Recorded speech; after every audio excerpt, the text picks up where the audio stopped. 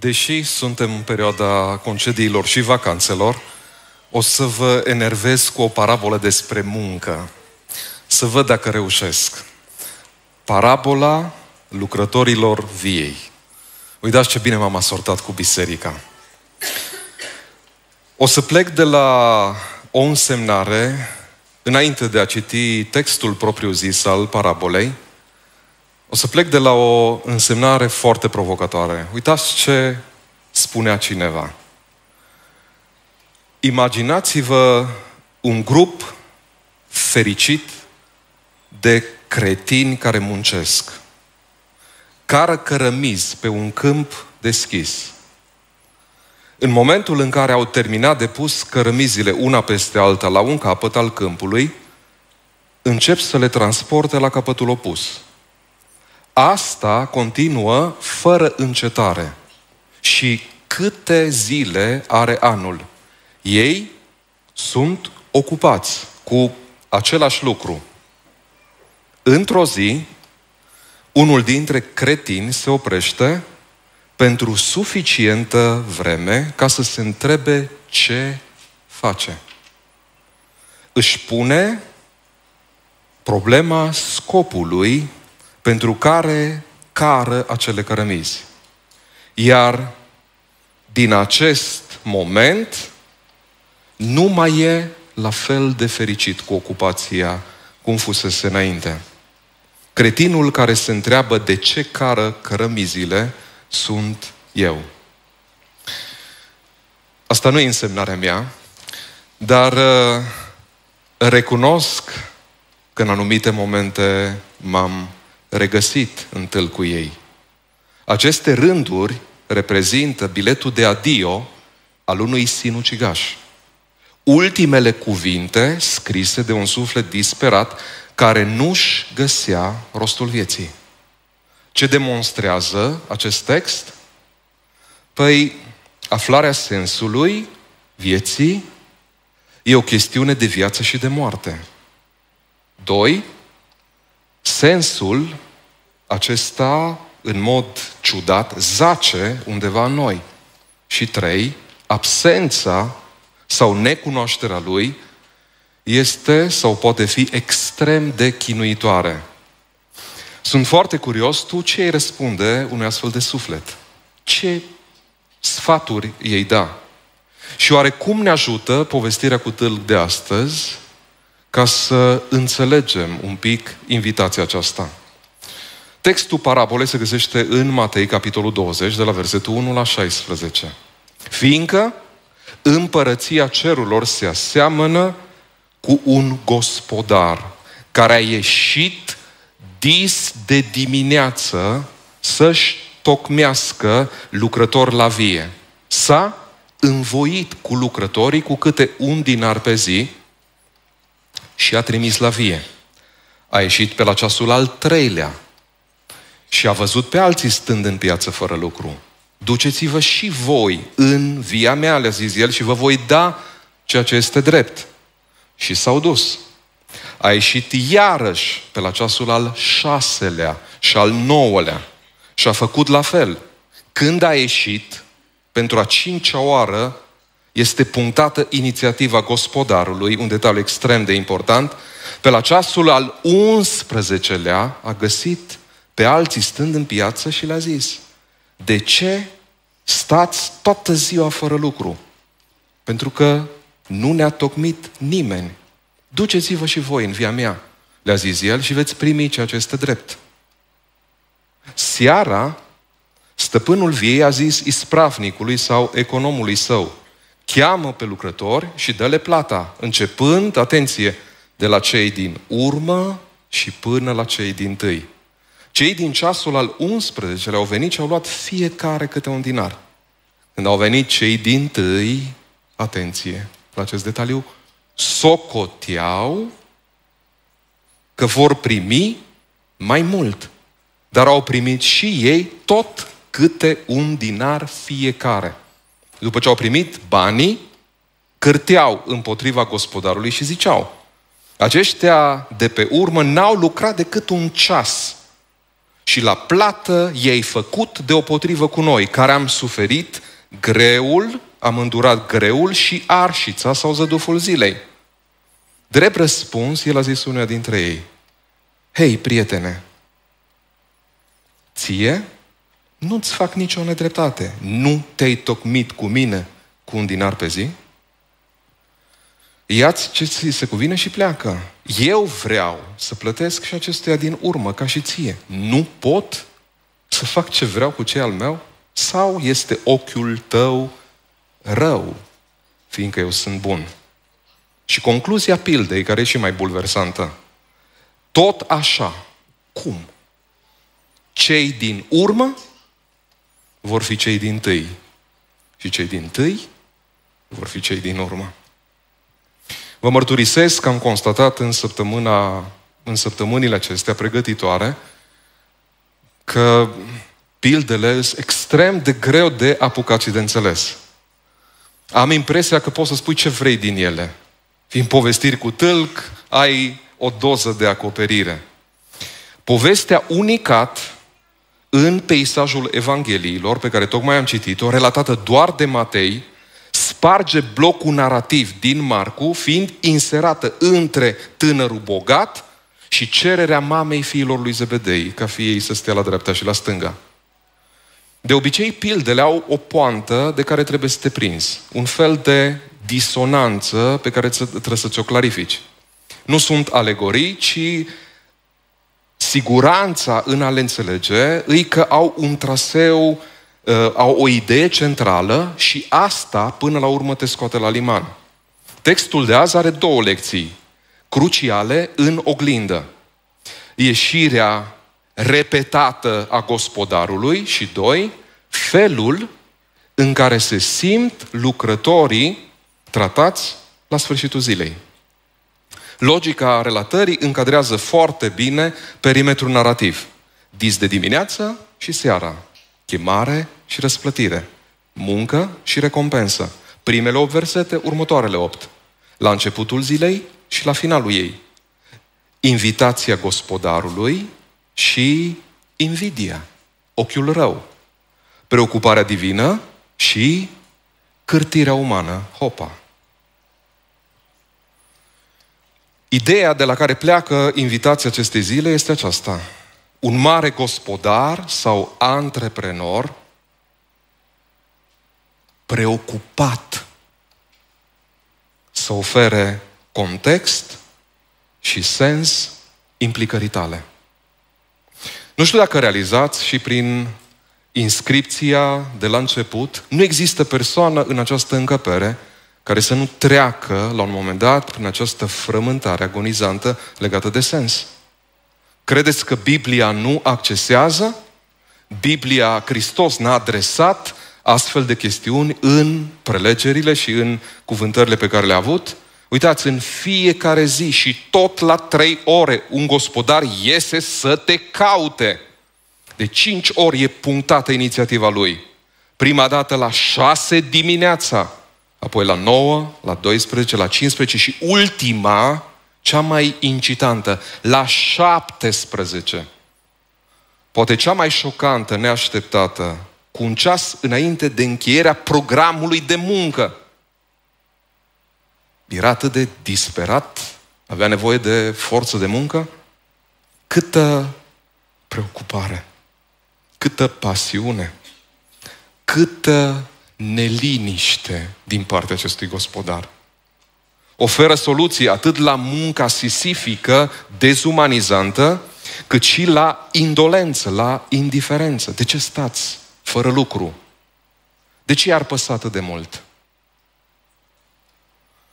Pentru că își dorește cu ardoare să trăiești cu sentimentul misiunii.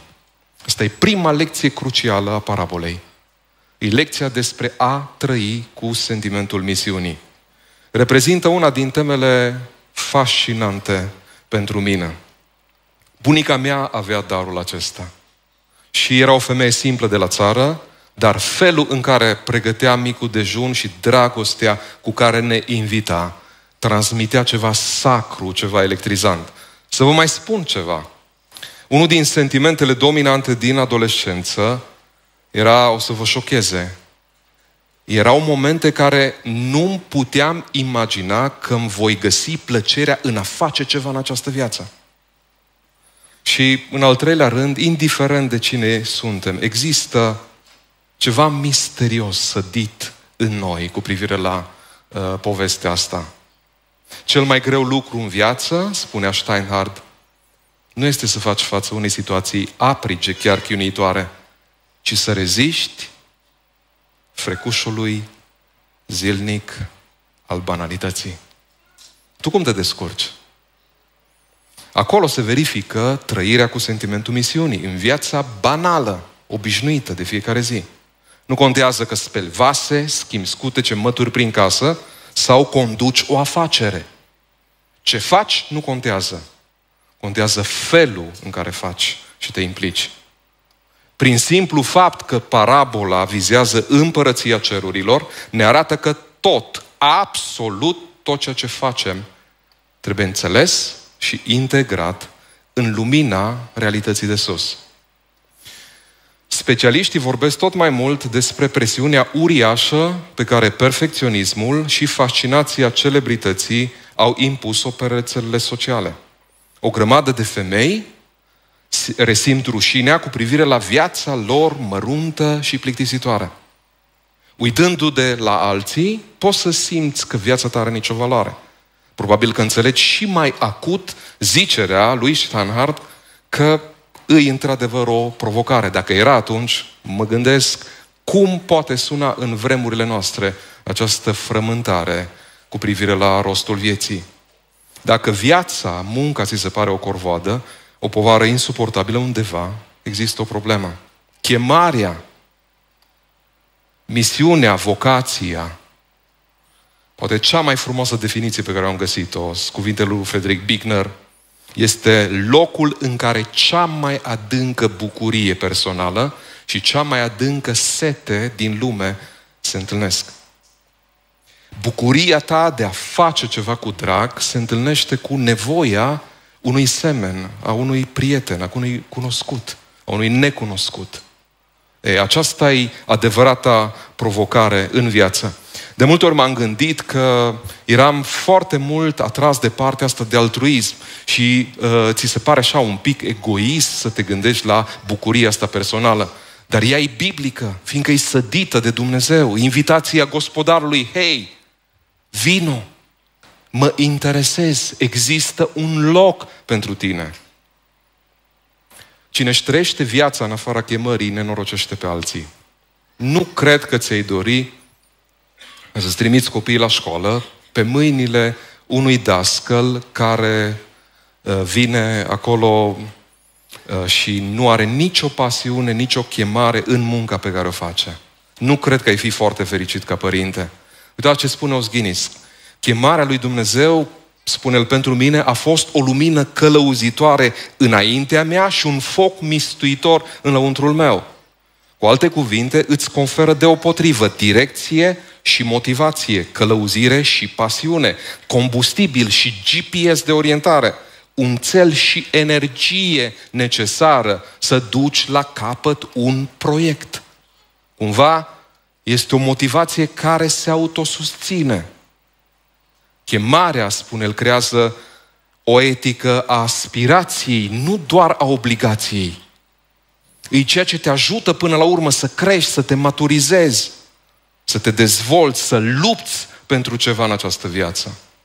Haideți să trecem la două dintre textele care pentru mine au avut efectul unui cutremur în perspectiva, în peisajul biblic. Este vorba de ceea ce spune Apostolul Pavel în 1 Corinteni, capitolul 10 cu 31. Mai întâi, deci, în concluzie, fie că mâncați, fie că beți, Doamne, cât de, cât de banal și comun poate să fie în adresarea pe care o face. Și șocul exact în cuvintele astea constă. Să faceți, sau fie că faceți orice altceva, să faceți totul pentru slava lui Dumnezeu. Deci, în concluzie, îți arată că nu e ceva periferic, ci e vorba de un adevăr capital al credinței. Apoi, invazia Sfințenii în cotidian. răscumpărarea obișnuitului, integrarea detaliilor. Ce să vezi? Fleacurile chiar contează. Nu-i vorba de o frenezie obositoare, ci de închinarea detaliilor zilei în mâna lui Dumnezeu. Nu-i o mantră pe care o repezi la nesfârșit, ci vorba de o atitudine cu care îți începi ziua. N-am înțeles de ce o predică e mai importantă decât ați îngriji copiii, nepoții, a ieși cu ei în parc, a repara ca pentru cel de sus o mașină, a pregăti o mâncare gustoasă. De unde ne-a venit nouă segmentarea și fragmentarea asta în lucrurile pe care le facem? Cel de-al doilea text care a avut efectul seismic a fost textul din Roman, capitolul 12 cu 1. Ia fi atent. Vă îndemn, dar, deci, fraților, pentru îndurarea, în original există un plural, care s-ar traduce pentru dovezile nenumărate, fără număr ale îndurării lui Dumnezeu, să aduceți trupurile voastre ca o jertfă vie, sfântă, plăcută lui Dumnezeu. Aceasta va fi din partea voastră o închinare adecvată, rezonabilă. Hai să încadrăm un pic versetul acesta. Reprezintă ușa turnantă a Evangheliei. Translatarea în viața creștinilor a veștii bune prezentate de Apostolul Pavel. Tot ce facem acasă sau la biserică trece prin această ușă turnantă. Îndemnul ca forță personală și eliberatoare. De ce zice Pavel, vă îndemn, fraților? are o valoare inferioară față de o poruncă, putea să le poruncească, ca apostol lui Hristos, ca mesager trimis al lui Dumnezeu. Îndemnul îți pasează mingea în terenul tău. Și gestul acesta nu poate fi făcut decât de un om care a conștientizat și care de bună voie alege să trăiască adevărul despre care vorbește Pavel. Este cea mai revoluționară perspectivă cu privire la închinare pe care am găsit-o. Tot uh, Osghini spune, oricine, oriunde și în orice este răspunsul natural și corect la domnia lui Hristos. Închinarea noastră din fiecare duminică, în care spunem, El e Domn și răscumpărător pentru viața noastră, ceea ce am mărturisit la botez, ceea ce proclamăm în închinare, în liturgie, în ceea ce facem aici. Cum se traduce, spune acest autor, în viața fiecăruia dintre noi, oricine, oriunde, prin orice, răspunsul corect și natural al unui creștin la domnia și autoritatea lui Hristos. Iată gândul revoluționar. Oriunde te afli în trup, ești în închinare. N-am înțeles de ce am segmentat noi lucrurile. Duminica e o poveste, după ce plecăm de aici e altă poveste. Când te distrezi, faci ceva, când vii la biserică, faci altceva. De unde această perspectivă? Noi nu realizăm, sunt două texte care au uh, o notă revoluționară cu privire la închinare, după mesajul lui Hristos adresată femeii de la Sihar, adevărații închinători se vor închina Tatălui în duh și în adevăr, care, apropo, eu citesc cu D mare și cu A mare, care înseamnă prin Duhul și prin adevărul care este Hristos și în subsidiar există și nota asta de închinare genuină, de închinare autentică. Nimeni nu se poate apropia să-L înțeleagă pe Dumnezeu, să-i se închine, să se raporteze corect, dacă nu are parte de revelație, de putere care îl susține, care îl ridică în acest proiect. Cel de-al doilea text e Apostolului Pavel. Și astăzi oamenii pun atâta uh, greutate și atâta valoare pe clădiri pe sacralitatea clădirilor. Și nu, să nu mă înțelegeți greșit, cred că este o infuzie de sacru în momentul în care biserica se adună, însă Biblia spune, casa lui suntem noi. Ideea pe care Pavel, cu care a șocat lumea religioasă și uh, lumea păgână a vremii, el spune, oriunde ești în trup, ești un templu, ești în închinare. Dacă vă veți gândi un pic la ideea aceasta, veți vedea cât de revoluționară poate să fie în orice detaliu și orice aspect al vieții noastre. Nu știu de unde am ajuns noi la această găselniță schiloadă în care am separat cele două regiuni. Înțeleg cumva că viața se derulează după un anumit program, Dar dacă nu înțelegem că viața este închinată lui Dumnezeu și este un tot unitar, avem mari șanse să ne pierdem pe parcurs. Imaginea care pe mine mă tulbură cel mai mult cu privire la Hristos este că îl găseai la fel de spiritual când erai cu el la masă sau în momentul în care îți deschidea Scripturile și îți vorbea din Cuvântul lui Dumnezeu. E, ăsta e lucru care pe mine mă intrigă și mi-a adus noi ferestre în a privi spiritualitatea oferită de Hristos. Poate vă întrebați până la urmă care sunt beneficiile trăirii cu sentimentul misiunii. Iată care îs câteva beneficii. Munca devine o plăcere, nu o corvoadă. Apoi, poate vii cu drag la locul de muncă. Mai departe, îți oferă echilibru și armonie în viață. Când ai împlinire în punctul acesta, simți că lucrurile se așează, că se coordonează în viața ta. Știi mult mai bine care sunt limitele. Cunoști ceea ce poți și ceea ce nu poți realiza. Ceea ce așteaptă alții și ceea ce știi tu că ai fost înzestrat de Dumnezeu. Împlinire și bucurie. Și nu în ultimul rând este cea adiere vindecătoare. Orice persoană care trăiește cu sentimentul misiunii propagă în jurul lui acea viață, acea speranță, acea încurajare formidabilă. Uh, Victor Frankl spunea, sensul ca și plăcerea trebuie căutat de o manieră oblică. Observați întrebarea gospodară, de ce stați aici toată ziua fără lucru? Implicația logică îi că implicarea este ruta oblică a sensului. Implicându-te, ai șanse mult mai mari să-ți dai seama care e chemarea, care e misterul acestei invitații pe care Dumnezeu ne-o face. De aceea, implicația logică ar fi tatonează situațiile oportune și treci la treabă. Dar oare ce ne rezervă partea a doua a parabolei? Parabolo, parabola lucrătorilor viei ne rezervă, rezervă un dublu șoc. Preocuparea gospodarului și preocuparea lucrătorilor. Pasiunea lui și dezamăgirea lor. Inițiativa divină și nemulțumirea umană. Bucuria și competiția. Privirea binevoitoare și ochiul rău. Recunoștința și cârtirea. Matei 20, versetele 80 la 12. Seara stăpânul viei a zis economului său, cheamă pe lucrători și dă-le plata începând de la cei de pe urmă până la cei din tâi. Când au venit cei din tâi, socoteau că vor primi mai mult. După ce au primit banii, cârteau împotriva gospodarului și murmurau. Aceștia de pe urmă n-au lucrat decât un ceas și la plată ei făcut deopotrivă cu noi, care am suferit greu și arșița zilei. Poftim, zic că n-are dreptate. Dacă te pui în pielea celui care a lucrat de la șase dimineața până la șase seara, nu cred că nu zici. Dar ce cu mentalitatea asta de antreprenor comunist? Nu-i normal să te revolți după ce ai muncit pe brânci, pe caniculă? Cu alte cuvinte, parabola se complică prin suspiciunea aruncată asupra antreprenorului și a corectitudinii sale.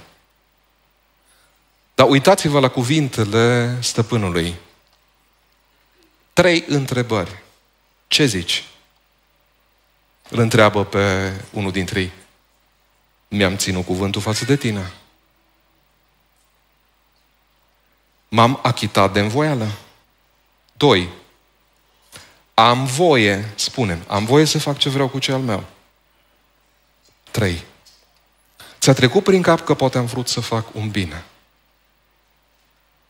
Și exact aici te prinde pilda la colț. Și cea de-a doua disonanță care nu-ți dă scăpare și care te prinde ca într-o menghină și te cheamă să-ți elucidezi lucrurile. Aceste observații ale stăpânului răstoarnă logica răutăcioasă a lucrătorilor și dă naștere la o avalanșă de întrebări. Și v-aș invita să fiți atenți la întrebările astea.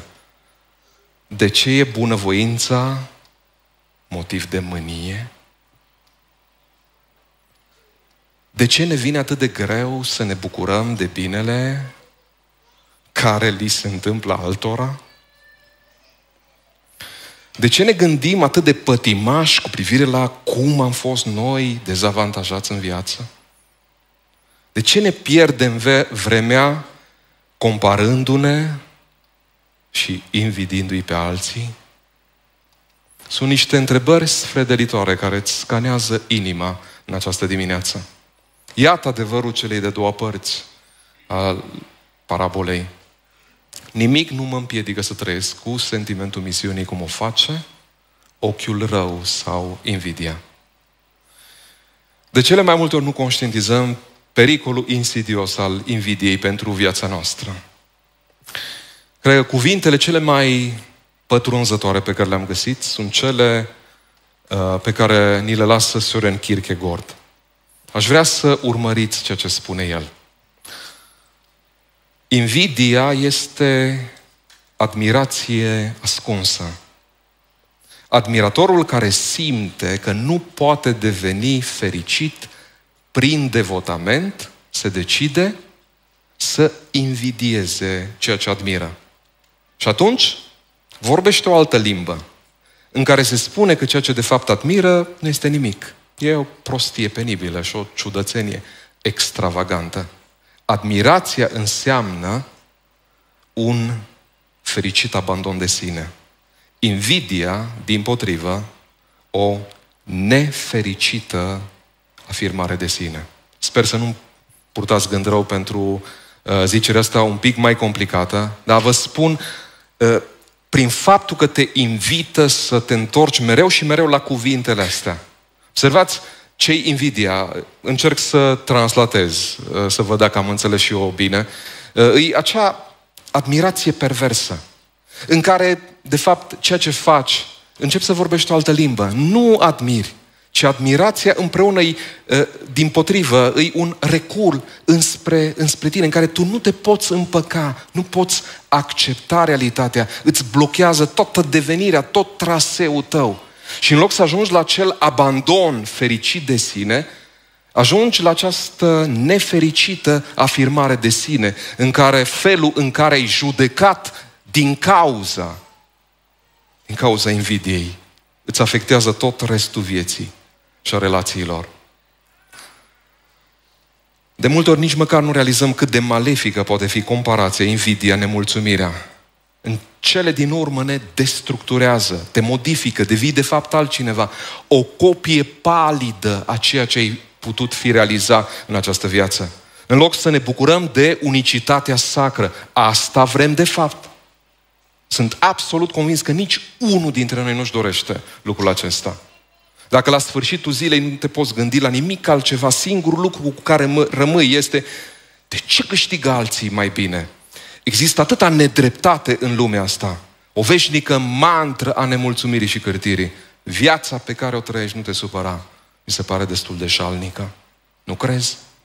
Dacă în schimb sentimentul copleșitor te încearcă că ți s-a făcut parte de încă o zi minunată, poate că ai aflat secretul fericirii.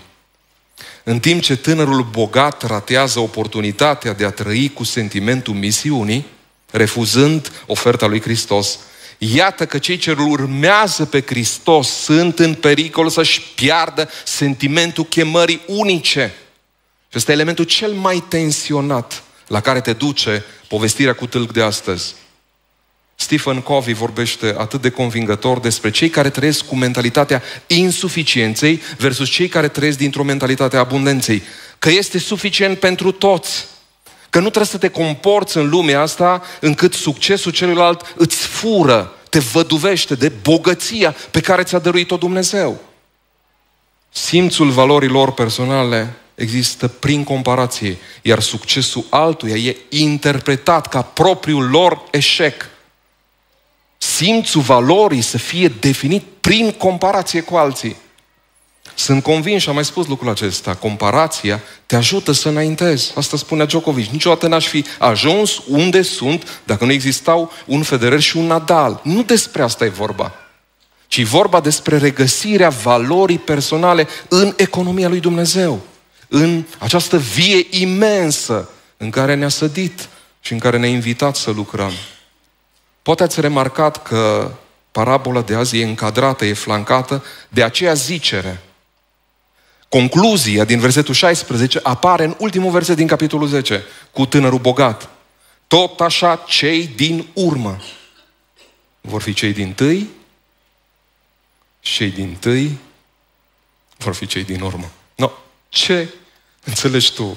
Ce ai putea spune acum în concluzie după ce am parcurs parabola aceasta? Mai ales că în mijloc este și punctul tensiunea nodală, cheamă pe lucrători și dă-le plata începând cu cei din urmă și până la cei din tâi. Iată care cred eu că este lecția incredibilă. Întâietatea este o chestiune ce ține de implicare și recunoștință. Ambele ne oferă darul perspectivei, dar în mod diferit. Atât implicarea cât și recunoștința ne conferă întâietate. Întâietatea de a vedea oportunitățile și de a ne putea bucura de ele. Incredibil. Provocarea zilei, un mare gospodar și o mare împărăție. Iată lecțiile, este loc pentru fiecare și nevoie de fiecare. Poate că e și o săgeată trimisă înspre slujire, subiect pe care îl vom aborda în luna septembrie. Doi, există o răsplată justă, generoasă și surprinzătoare. Și trei, cel mai mare pericol în calea trăirii cu sentimentul misiunii este invidia. Yehudi, Mehuni, eh, Yehudi Menuhin, marele maestru și violonist, care a ținut audiențele din lumea întreagă, vrăjite de sunetul, sunetul viorii sale, asemenea multor violoniști, și-a descoperit visul încă din copilărie. Și-a făcut debutul la șapte ani în San Francisco și cariera lui a fost recunoscută la nivel mondial odată cu concertul istoric de la Carnegie Hall din New York la vârstă de 12 ani. În memoriile sale, în Finished Journey, relatează cum s-a îndrăgostit de vioară. Încă de la vârsta de trei ani, părinții îl luau cu ei la concertele din New York, unde putea să-l audă pe marele violonist și concert maestru Louis Persinger. Când acesta ajungea la arii pe care trebuia să le cânte singur, Yehudi era fascinat. După un concert de felul acesta, și-a rugat părinții dacă ar putea avea de ziua lui o vioară și să fie învățat de acest mare maestru. Se pare că dorința i-a fost îndeplinită chiar de ziua lui. Când a împlinit patru ani și un prieten bun de familie i-a făcut cadou o vioară, însă una de jucărie, de metal. Deși avea numai patru ani și nu ar fi putut ține în mână o vioară adevărată, atunci s-a înfuriat a izbucnit într-un plâns incontrolabil cu sughițuri și a trântit vioara la pământ, hotărât să nu se mai atingă de ea niciodată. Reflectând mai târziu asupra acestui moment, spunea că tot ceea ce își dorise era o vioară adevărată. Pentru că, citesc, am știut instinctiv că a cânta înseamnă a fi. Restul e doar repetiție. A trăi cu sentimentul misiunii este o experiență personală, relațională și divină. Este locul în care cea mai mare bucurie și cea mai adâncă sete din lume se întâlnesc în prezența lui Dumnezeu. Oare noi știm cum arată vioara noastră adevărată? Concluziile acestei zile sunt două.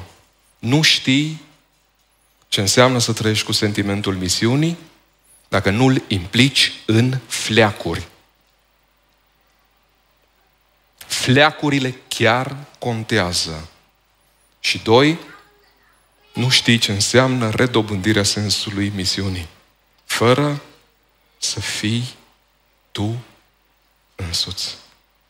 Mulțumit cu ceea ce ești, cu cât ai, cu ceea ce ți-a dăruit Dumnezeu, cu ceea ce a investit în tine, în viața ta. Două întrebări pentru cuget. Pot spune că oriunde mă aflu în trup sunt în închinare? Și doi, mă simt recunoscător pentru ziua de azi și pentru și pentru reușitele altora. Cred că cel mai surprinzător gând cu care am rămas din tot ce am citit din Eric Fromm este acesta. Distructivitatea este rodul unei vieți netrăite. Este ceva în noi care, dacă nu este canalizat în direcția lui Dumnezeu, a gospodarului și a viei lui, va fi irosit și va nenoroci viețile nenumărați oameni, a nenumărați oameni. Cum să nu fii fascinat de un asemenea Hristos prin care s-au creat toate lucrurile și care a devenit om pentru ca noi să putem deveni oameni. Toată teologia pe care am învățat-o până în clipa de față poate fi adunată în aceste cuvinte. Hristos, credința noastră în El, ca împlinire și răscumpărare a umanității noastre. Parabola de azi ne lasă două disonanțe și o întrebare. Munca plăcere sau corvoadă? Povară sau încântare?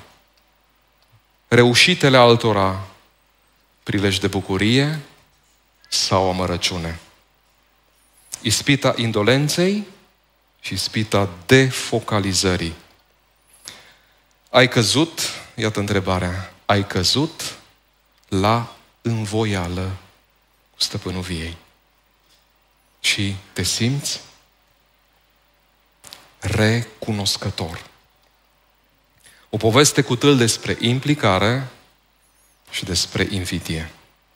Bunăstarea ca ocultarea sensului, tânărul bogat, ascunderea lui și competiția ca irosire a lui. Ce poate fi mai rău? Necunoașterea vie- sensului vieții sau abandonarea lui?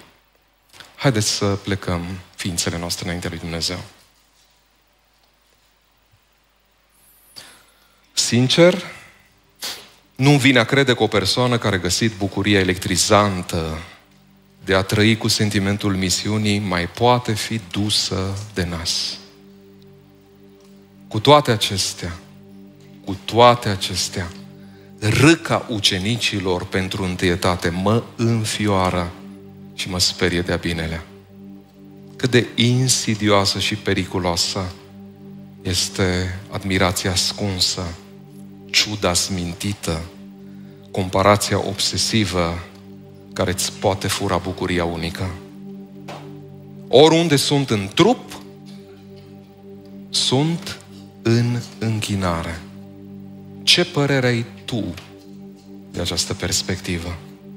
Ce înseamnă pentru tine închinare? Dar cu frecușul zilnic al banalității, cum te descurci? Există oare bucurie și împlinire în ceea ce fac? Pot spune ca Yehudi că a cânta înseamnă a fi. Restul e doar repetiție. Ți-ai găsit vioara adevărată la care să cânți? Mă simt recunoscător pentru ziua de azi și, și pentru reușitele altora.